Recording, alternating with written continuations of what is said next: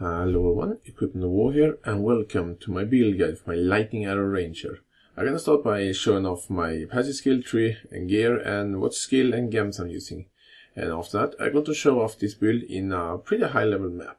So let's get started by taking a look at my passive skill tree. I'm starting as a ranger, and I ascended to a deadeye, so I'm gonna start with, uh, by showing off my uh, ascendancy skill tree.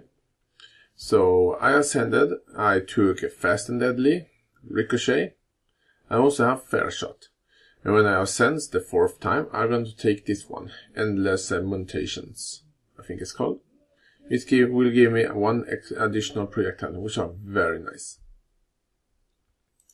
For my actual normal skill tree, I uh, recommend going for the evasion in life in the beginning. It makes it much more easy to level up and take fitness, really nice uh, attack speed note. Then I went for projectile damage and attack speed. If you want, you can go for the additional uh, projectile damage. But I choose to take uh, attack speed instead. I took Ballistic Mastery. I took a Primal Spirit to help out with mana. It also gave me strength and intelligence, and I need some strength to this build. I have Heart of Oak for life regen and some some uh, additional life, and also give me a chance to not get stunned. So it's a pretty nice note. Then I went for Aspect of the Eagle. Then I took both the attack speed and critical strike chance and the bow damage. I took Aspect of the Lynx. Then I went to take Survivalist. Then I went down here to take uh, Heartseeker, then Heavy Draw and Deadly Draw. And then you have an option. You can take this uh, jewel socket here I have uh, this uh, unique jewel here, which uh, converts dexterity in the radius into strength instead, because I need some strength for my gear. You don't have to have this one, you can have a rare one, which give uh, physical damage to your bow, attack speed, or life, which would all be nice.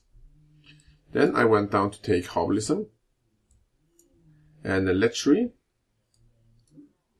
and I went down here to take it Thick Skin, King of the Hill, really, really nice uh, crit note.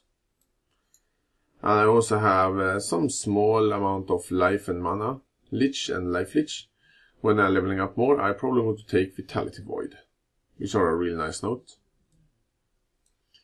I have uh, taken uh, Golem's Blood, uh, Cloth and Chain, really nice uh, defensive note. I also have Iron Reflexes, which converts all evasion into armor instead. So I am a armor build, not an evasion build. Then I take Fury Bolt and Bravery. I also went up to the shadow area of the, of the tree. I took Blood Drinker, Nullification, Fangs of the Viper, Sniper, Well of Blades, took uh, coordination, a blood siphon, trickstery, an assassination. And if you want, you can take this crit chance and this one called cold-hearted calculation. And that's pretty much my skill tree. I don't need any, uh, for example, uh, accuracy because I'm using Lioness Glare. And I'm going to go over that in just a second when I show off my gear and what gems I'm using. And the link to my uh, skill tree will be in the video description. So if you have uh, if you want to know anything, you can take a look there for yourself later. So let's take a look at the gear I'm using. First of all, uh, the weapon I'm using, I'm using Lioness Glare, a really cheap and really powerful bow. The only drawback with it, it is not a crit bow, so the crit chance is only 5%. But it, it is more than making up for that by sure physical damage and attack speed. And also have the unique effect that uh, your arrows can't miss, so your enemies can't uh, evade your arrows. So you don't need any accuracy to hit your enemies. It's a really powerful bow and very cheap. For a helmet, I was using uh, this helmet here. It's just an evasion helmet, but the evasion is converted into armor instead. Here's a standard helmet. Uh, another helmet you can use. You can use a helmet called Rat's Nest, which will give you both attack speed and crit chance, which will increase your damage quite a lot. But I just using the defensive options. And uh, this one gave me a good amount of uh, life and resistance, which are really nice. Moving on, I using this uh, amulet here. Nothing really special. It has some small amount of resistance, some life, some really nice physical, uh, flat physical damage and crit chance. A pretty nice amulet. And try to go for amulet which have um, adds physical damage and crit chance. If you can, life and resistance, if you might need some.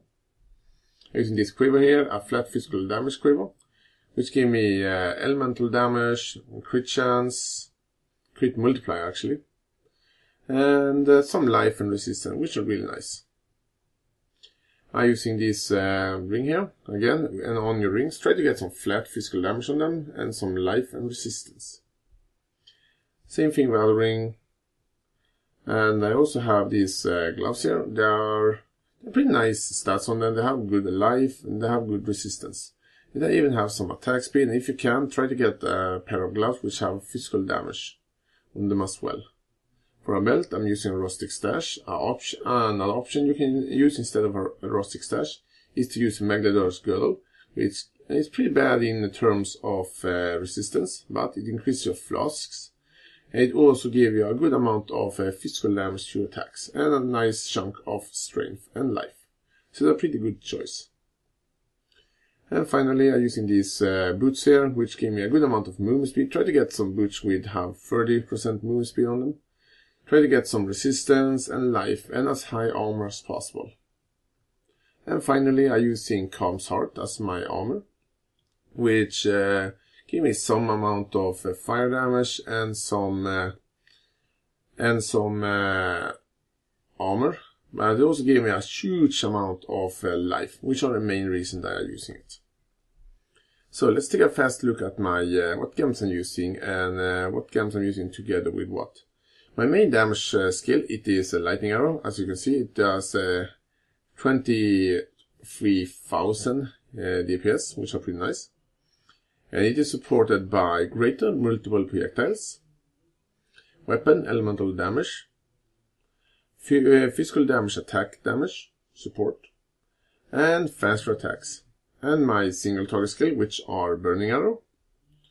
It is supported by uh, weapon elemental damage, faster attack support, and physical projectile attack damage support. For auras, I'm using uh, Hatred. And... see if I can find it now. There it is. Herald of Ash. I also have... Uh, I also using a Blink Arrow to get out of bad situations. Which are not supported by anything. And I have a Blood Rage for more damage and more Leech. I have a cost of damage taken, uh, taken setup, which are cost of damage taken linked to Immortal Call. And that's pretty much all of the games I have. I have uh, Herald of Ice, but I'm mostly leveling it up. So, I'm gonna now show off this build in a map, so see you there in a second. This build is incredibly powerful against large group of enemies, and that's what you wanna use your uh, Lightning Arrow against. Against smaller groups of enemies, or particularly strong enemies, just use your uh, Burning Arrow against them. As you can see, this is probably one of the fastest build you can have if you want to clear really, really quickly. Because you have such a high mobility and you just wreck everything in just one shot. And you can use other skills with this build, you don't have to use uh, Lightning Arrow. You can use uh, something like uh, Tornado Shot, but uh, the reason I don't uh, using Tornado Shot is because, if you ask me, that skill is not that fun to use but it works really well. As you can see, I just wrecking everything in just a second. It takes down bosses pretty easy and they have really good survivability. As you can see, you can even face tank the bosses and they'll die quite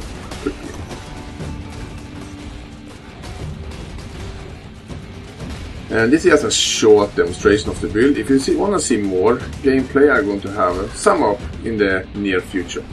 Anyway, I hope you guys like this short uh, build guide where I show off my build. And uh, tell me comment what you think about it or if I it is something I missed. Anyway, thank you all for watching